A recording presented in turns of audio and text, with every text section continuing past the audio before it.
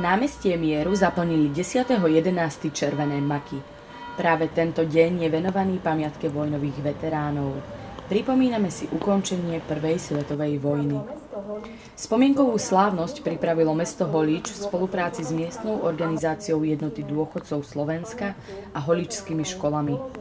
Symboliku červených makov opísala predsednička miestnej organizácie dôchodcov Slovenska Luboslava Bégová. Mnohí si položia otázku, prečo práve maky teraz v novembri.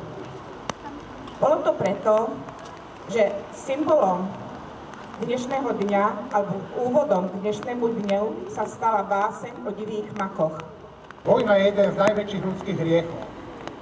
Dochádza k zmaru jedného z najväčších darov, ktorým je ľudský život. Človek ubližuje človeku a prelieva sa krk. Krv je to najvzácnejšie, čo máme. Niekedy srdce symbolizuje lásku a inokedy, ak zmlkne, prináša smrť.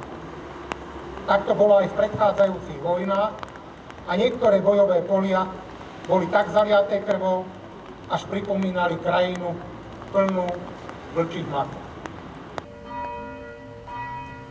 Pri rozozvučení kostolných zvonov položili červené maky k pomníku padlým predstavitelia mesta, poslanci, zástupcovia škôl, zástupcovia miestnych organizácií, žiaci i verejnosť.